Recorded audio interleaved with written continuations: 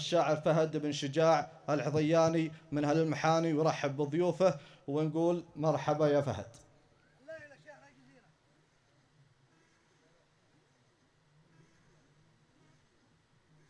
بسم الله الرحمن الرحيم. باسم الشيخ خالد بن علي بن ثعلي وابنه رجل الأعمال علي بن خالد.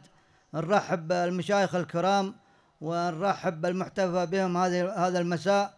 الشيخ مسعد بن سمار والشيخ حامد بن سمار والشيخ محمد بن مسعد بن سمار والحضور الكرام. يا أبو علي بالشعر في وقت الأشعار أبشر بشعر جزل يطرب سموعك وأبشر بميقاف مجمل ومحضار. حنا لجات المواقف فسوعك وليدعانا علي ما منه معذار. شبل ما تشكي مع وجوده هزوعك وضيوفنا غالين واسماهم كبار يفرح بهم قلبك وتقوى ضلوعك.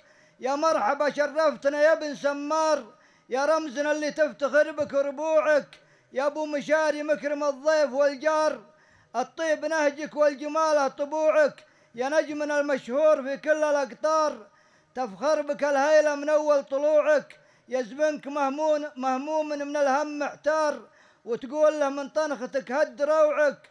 ويروح ليلة ظلمتك كلها أنوار ومن تنفعه ما هو بناس نفوعك ومعك الصقور من أومسة كل صقار. دروعنا في المعضلات ودروعك حامد جبلنا اللي مثل ضلع سنجار. توضي شموعه مثل موضة شموعك. شارك بذود تلفت الباب وانظار. شارك بذود تلفت الباب وانظار. وبقبضته يمشي برايك وطوعك. ومحمد المسعد اليسار ما صار. الفعل نفس الفعل والنوع نوعك.